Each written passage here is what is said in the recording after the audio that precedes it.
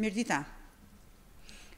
Më lejoni që në emër të Lëvizjes Socialiste për Integrim të shpreh qëndrimin edhe një herë të qartë për sa i përket paketës antishprehje që Edi Rama ka çuar në parlament. Liria e shprehjes në Shqipëri dhe demokracia sot gjenden në buzë të greminës. Edi Rama kërkon që të jetë e vetmja gojë që flet në Shqipëri. Ai tashmë i ka shpallur luftë çdo të vërtete ngado që vjen ajo. Nga goja e një qytetari, nga një media apo nga një politikan. I gjithë opinioni ndërkombëtar tashmë është shprehur qartë. OSBE dhe Këshilli i Europës. Pra nga një paketë antishpifje, e cila trumpetohet nga Edi Rama dhe falangat e tij, nuk mbetet gjë tjetër vetëm të cilësohet si paketa antishprehje.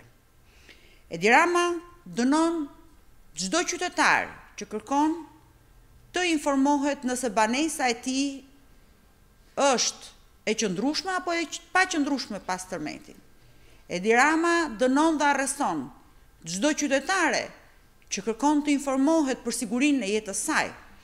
Edi Rama kërkon të dënojë dhe të arrestojë çdo portal dhe drejtues portali nëse denoncon korrupsionin, grabitjen apo mashtrimet e tij.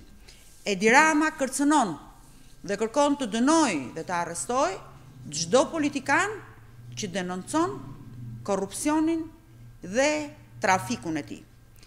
Edi Rama tashmë është vendosur haptas kundër Europës. Ai tashmë po cenon dhe është në kundërshtim flagrant me Direktivën Europiane për Lirinë dhe Rregullimin e Mediave. Ky është një fakt tjetër i pakundërshtueshëm, që tregon se axhenda e Edi Ramës prej kohësh është një axhendë anti-europiane dhe anti-shqiptare. Sot të gjithë shqiptarët, që Edi Rama kërkon t'iu rrëmbejë lirinë e shprehjes, janë të gjithë së bashku, pasi gjithsecili ka se çfarë të thotë për këtë qeverisje të kriminalizuar dhe të korruptuar. Pasi çdo e vërtetë që del tashmë sheshit, Tregon qartë përse shqiptarët braktisin Shqipërinë e tyre dhe se pse Shqipëria është në një mjerim ekonomik dhe se pse Edi Rama dhe oligarkët e tij s'kanë të ngopur me paratë e shqiptarëve. Mbështetja jonë është totale, qoftë për njerëzit e mediave, qoftë për përfaqësuesit e saj dhe për këdo që lufton për lirinë e shprehjes. Liria e shprehjes është ajo që bën ndarjen e demokracisë nga diktatura. Dhe kjo është një betejë e humbur e Edi Ramës, si çdo betejë e cila është e humbur përpara së vërtetës. Dhe asnjë kompromis nuk ka dhe nuk do të ketë në këtë princip të shenjtë i cili bën ndryshimin midis njerëzve të lirë dhe skllevërve. Faleminderit.